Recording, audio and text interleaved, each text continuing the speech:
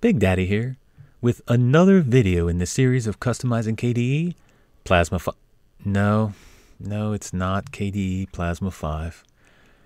We left the KDE universe and we are now journeying to a world of GNOME. Can you believe it? so, if you didn't know, Rob and I over at Linux Quest have are in the middle of a distro challenge, which is pretty much my fault because I'm the one that suggested it. But um, I suggested that we switch because he's been on Arch for a while and I w- I'm usually on Ubuntu. So I suggested that he run KDE Neon for a certain amount of time and I would run an Arch based system for a certain amount of time. And we hammered out the details and came up with a two week trial, and he would use KDE Neon, and he actually suggested that I use Antergos GNOME. So originally I thought about using Antergos KDE, but he suggested that I use the GNOME version, and I was more than happy to try GNOME because I have installed GNOME before, but it's probably never lasted more than a day on my system. And I really never gave it an opportunity to win me over not that it would ever win me over, but I mean, I never gave it that opportunity. So I was more than happy to try it. So on Thursday of last week, I installed Antergos KDE just as a prep for the challenge, just to see how it would go and everything. And it went perfect. So on Friday night, when we decided to start it, I tried to install Antergos GNOME. And I went through the installer, and the installer would hang and freeze. And it probably took 35, 40, maybe 45 minutes to get through the install process. At the end of it, it came up with an error stating something to the effect of it had trouble with the bootloader. Uh, try visiting the Arch Wiki, blah, blah, blah. Well, I tried to boot into the new installation and it couldn't find the bootloader. So, long story short, I tried it again and it did the same thing. Hung for another 45 minutes. And so after the third unsuccessful attempt, I I'd already blown up my KDE installation by now, so I didn't have nothing to boot into. It didn't pick up my other, well, obviously the bootloader wasn't there, so I couldn't boot into any other KDE installation or any other uh, Linux installation that I had. So I have Windows on a separate drive, and I ended up having to boot into that, download a new USB writer program, download the ISO again, inst- uh, write the ISO to a new USB stick, and then I shut down the computer and unplugged all of my hard drives other than the one I was going to install it to, booted up onto the USB, went through the install process, and lo and behold, it went through. Now it did take a little bit, but it did go through, and it, and I was able to then boot into GNOME. So that was after the fourth try. So I got a lot of help from Rob. I got a lot of help from uh, Dave, and I appreciate all that. But here we are. So originally, I wanted to see what the GNOME developers were going for, what they're aiming at when they develop GNOME. So I was trying to use it as stock as I could to get a picture of that. And it seems to me they have like a uh, a big corporation mentality about things, like um, like a Microsoft esque, Google esque kind of thing, where they guess what they think you're going to use, and they add settings to that effect, and they remove settings that they don't think you're going to need. So, um, for example, we'll just take the file manager and they take out settings like the per folder view settings. So, you know, if you're in the icon view, you're going to be in the icon view no matter what folder you go into. If you're in the list view, you're going to be in the list view no matter what folder you go into. So you can't have per folder view. Like I normally have my music in list and my everything else in icons. So they did take out certain functionality. Now you can right click on a folder and you can hit open in new tab, but you do not have the split view, which is something I use often. Now, they have simplified everything. They have uh, taken things out and basically simplified the whole look of it. And I do appreciate that. I do like the simplified look. I think it's one of the better looking uh, file managers. Um, but it is really s- simple in its effects. Now, you can do a copy to and move to, which is nice. Uh, the send to actually does work the way it's supposed to. Like in KDE, the send to really doesn't do anything, even if it's there.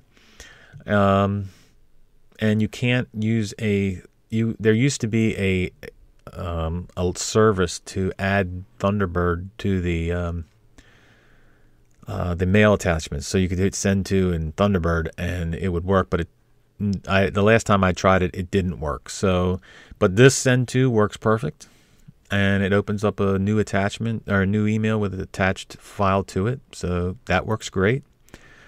Uh, the one thing I did find is the open in terminal. Now, and this is not maybe specific to the open in terminal in files. It, it may be, or in, uh, what is this, Nautilus, I guess. Um, they, it is, it is um, the programs themselves maybe uh, trying to hang up or trying to start, but they hang up. Like, for example, when I hit open in terminal, nothing happens. Absolutely nothing. And Nautilus kind of like freezes. So, and that's not necessarily specific to Nautilus. There's, there's a few things that I've noticed that do this, and I'm not exactly sure why it does this. But, um, and then when you come down here and you click on terminal, nothing happens. There's nothing. Okay, so um, I don't know what's going on with that. Now, it doesn't happen every time. There are times where I will come in here and I right click and hit open in terminal and the terminal opens up. I'm just not sure exactly what the problem is. I don't know if it's Arch thing, GNOME thing, Antergos thing. Not sure what's going on there. Um, and same way with other programs like OBS. OBS would open up sometimes, and sometimes it wouldn't open up. So I'm not sure what's going on. Here's another issue that I'm running into where the font, as you can see, is terrible looking in OBS, and I have removed my settings folder, thinking that it may may have caused some conflicts, but it didn't. Uh, didn't help anything.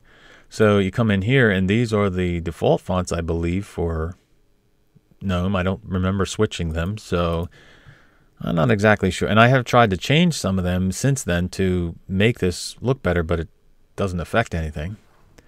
Uh, also, with OBS, uh, as you can see, I'm not sitting here looking out at space because I can't use OBS right at the moment because I tried to record. I went through and try, even though this font is terrible looking everything, I tried to record a video or two with it, and it was it was not even usable video. Uh, there was no audio to it, even though the settings were correct. Um, I even tried the original settings of my other OBS installation, and uh, the video itself, it, it depending on which player you use, in VLC it would just shut off the video immediately. In MPV player, it would play the video, but it would it would play a part portion of the video, but it would play like at super super top slow speed and there still was no audio with it. So the recordings are unusable in OBS on this particular installation. Now, I don't know if I need to install something specific for that to work better or what. So anything that I'm talking about here, you, you guys can comment on and tell me if it's an Arch thing, a GNOME thing, or or whatever it may be. But I'm just going through the list of what I've been looking at. All right, so um, for some reason, now I did say that I was trying to do the generic GNOME without changing anything, but I mean, there's just no way that you can use GNOME default, or there's no way I can use GNOME default because the functionality is just not there. So, for example, um, for whatever reason, maybe it's because they hate energy, but they took out the suspend button here. They just don't want you to save power.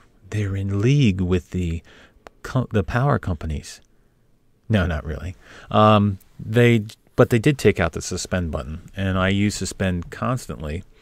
And I'm not sure why you would do that, but there's an actual extension to add it back into the menu, which I'm not exactly sure why that would be needed. But um, I did get my VPN installed thanks to a video by sudo reboot, and um, so I did add a uh, an extension to uh, allow me to connect or disconnect or change to whatever sound output or input that I needed right from this menu, which is an awesome feature.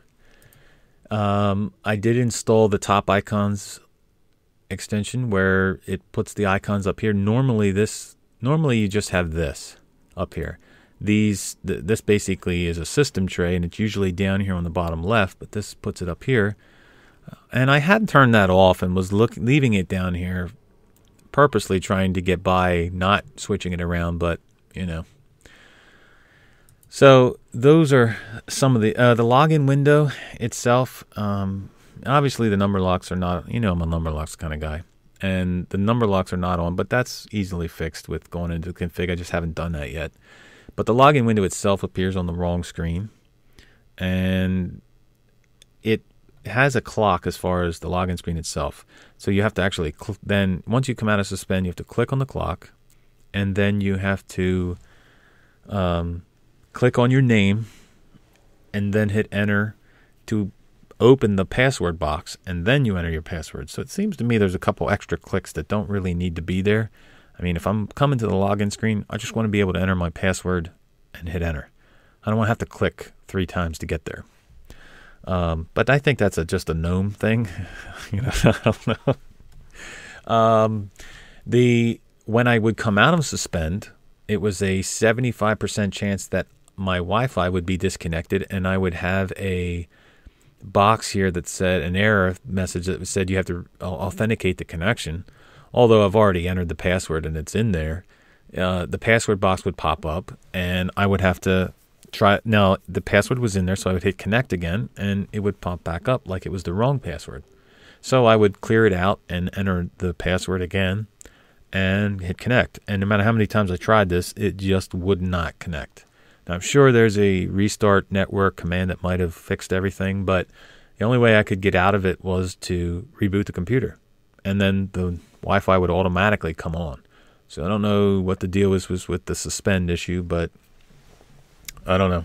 It's acting real goofy. Um, the music. I wanted to try out GNOME Music because the people that when it came out, like when they updated it, it was supposed to be really good, but I can't seem to get it to work. Okay, I get things like this. Um, originally, I had a box in the middle of no Music saying your music will appear here after it's added or after it's scanned or whatever it said. But no matter how long you let it there, it would not appear. So I would, you know, I searched the internet for it. You know, the internet. That thing where you Google something. Anyway, um, I searched for it, and there's articles dating back to like 2013 stating what to do. It's the tracker problem type thing, and I did the uh, what they said to do, but it didn't seem to fix anything. As you can see, this is what happens. So I am having trouble with that. Um, I showed you the right click terminal not working. And that's about, I mean, the only other issue I had was my wireless mouse not tracking properly. And I don't normally use my wireless mouse. I was just actually setting it up to use it for a certain specific thing uh, here, and it's not work. It it tracks all. It like hesitates. It'll go halfway across the screen and then move over all the way over. So I'm just using my wired mouse for now. So and that's fine. I'm just letting you know what's going on. So there are things that I really like about GNOME. Um, I do like the full screen menu. I am a full screen menu kind of guy. Although I wish you could change the icon size to be not so big. But you can scroll through here and see your icons. That's great. Um, I do like it when you hit the Windows key super key and it brings up your well let's see here. Let's open a couple. So when you hit the super key it brings up your applications first and you can switch to them if that's what, so that's an alternative to alt tab. And then you can just start typing for your programs and hit enter and it opens them so that is that is a nice feature. Um, I do like the notification center. I like the notifications being in the center. I always like my clock in the center, uh, but it's nice to have the notifications put in with this. So, like when there's an update and it pops up and it goes away, uh, your notifications will be here saying, "Hey, there's an update." So that I do like. Um, this is the G no G the Gno-Menu. The yeah, I guess it's well, depending on how you say GNOME or GNOME, it's the Gno-Menu. So it has separate uh, a view, uh, separate main menu, and the actual menu that it adds, which is a which is actually a pretty nice menu. Um, you can you can actually set it to open in your favorite apps, um, and then you can go through your normal apps that you have. It even comes with a suspend button. Isn't that great?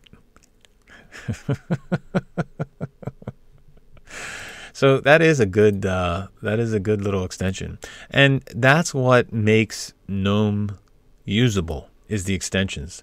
And we had talked about it before that GNOME is GNOME, but then when you open when you use more extensions, uh, it opens up to a whole new world. So I think I'll probably make some videos on customizing in GNOME. The customizing in the settings might only be a three minute video, I think, because that's all the settings you get. Three minutes worth. But I think I will make a uh, some other videos on it. Maybe I'll even be able to get OBS working. But the best thing about this is the AUR. And I have to say, I love it.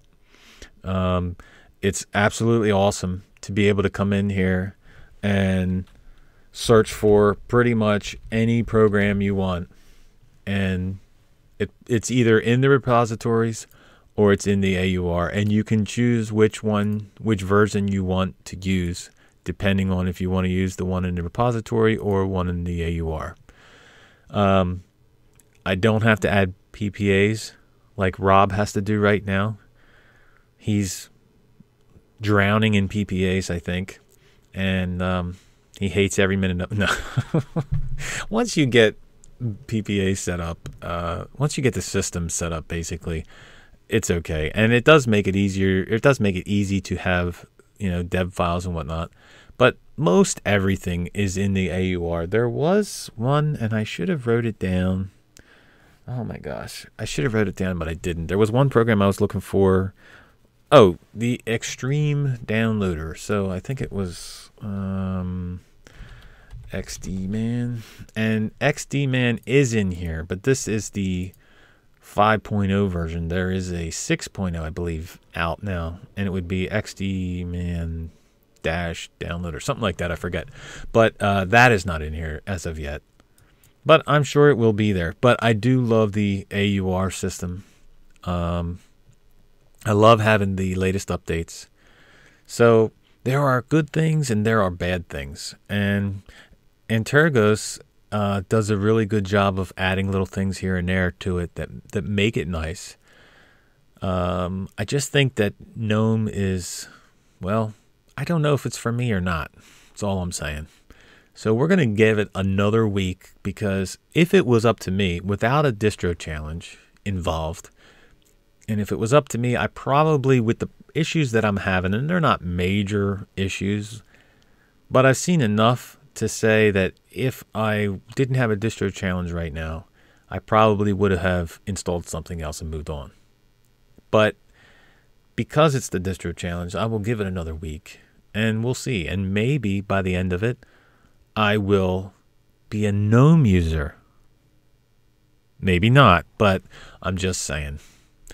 So until then, Big Daddy out.